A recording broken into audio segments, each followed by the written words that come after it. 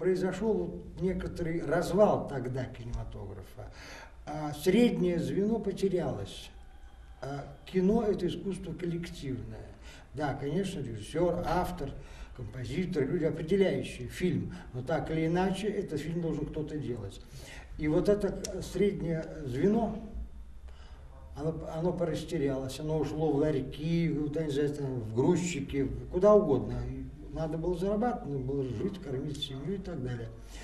А, вот это все и привело к тому, что в определенный момент очень многие ушли из кинематографа. А, хотя его очень любили. Лучше или хуже, но я занимаюсь театром. Хочу ли я? Конечно, хочу. Но сейчас э, трудно, повторяю, совместить интересы художественные с интересами, так сказать, коммерческими. коммерческими. Более того, пришли, э, пришла новая э, группа людей в кинематограф, так называемые продюсеры. Э, и если раньше я мог еще как-то убедить начальника партийного или административного в том, что мне надо сделать, то сейчас это стало гораздо труднее. Продюсер просто считает деньги. Он говорит, вот это мне подходит, это мне... Иногда это гении, но их очень мало. Но когда мне начинает человек, который до этого работал на гвоздильной фабрике, рассказывать, как надо снимать кино, мне становится не по себе. Я думаю, что лучше я буду э, как-нибудь без него обойдусь. А поэтому сейчас, конечно, дело трудное. Но, тем не менее, это уже вот то, что я сейчас все рассказывал, это было. Сейчас уже вот сейчас, да, пошел маятник в другую сторону. Все вдруг сообразили, что все-таки художественный процесс все равно есть художественный процесс, а коммерческий он коммерческий, и не надо их путать, их надо объединять, другое дело. И сейчас, мне кажется, кинематограф, кинематограф снова немножко, ну что ли, поворачивается в нужную сторону. И я очень верю, что в ближайшее время э, мы снова, так сказать, обретем, мы, я имею в виду, наш российский кинематограф, э, кинематограф снова вернется э, в серьезное положение, будет значим.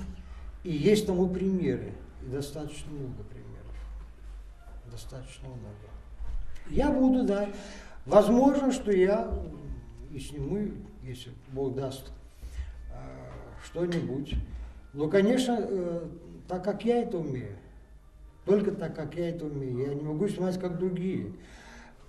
Ну, кино такая штука, что, конечно, можно снимать под кальку один и тот же сюжет, а, снятый во Франции или в Америке, или сделанный еще где-либо и как-либо, и повторять его, повторять геги, повторять трюки, повторять.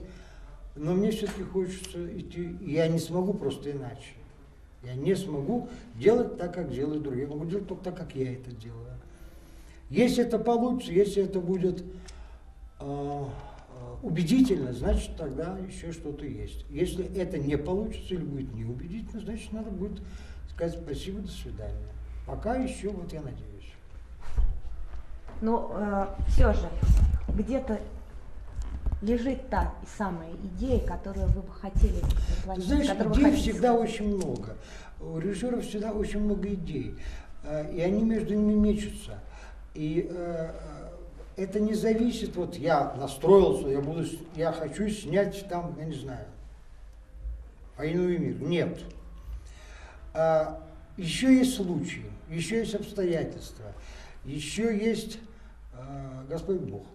Вот эти обстоятельства, все вместе взятые, и определяют а, ту или иную идею, которая реализуется.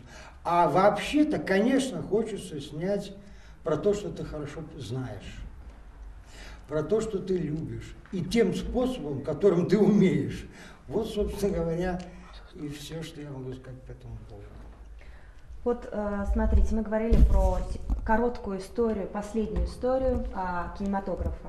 Э, значит, советское время, э, бюджет Госкино – перестройка, а, рыночные отношения и много а, случайных людей. Угу. И вот сейчас третья, на мой взгляд, волна, когда а, компании Universal Pictures или какие-то говорят, а нам деньги не нужны, нам не хватает человека и сценария, у нас полно денег, Мы вот хотим снять кино, но хорошее кино. И, значит, из этого следует, что не один. Ну, ты знаешь, может быть, время и настало, но только надо, чтобы оно еще на меня упало. Пока что это где-то там, может быть, происходит. Это одна сторона дела. А другая сторона дела, э, а все-таки кто-то сохранился, а все-таки кто-то выдержал, а все-таки кто-то смог. И та же Аня вам пример. Нет, она осталась, и это тоже талант, и это тоже актриса, но она проявится и как э, талантливый человек в любом деле. А талантливые люди, если не талантливые, они талантливы всегда во всем. Если Аня сядет за руль, несмотря на ее балетную э, якобы, так сказать, она будет хорошо водить машину. А будет ли она актрисой еще в каких-то э, работах, каких-то проектах? Наверное, и будет. Если она этого захочет. Не мы с вами, а она. И даже не я.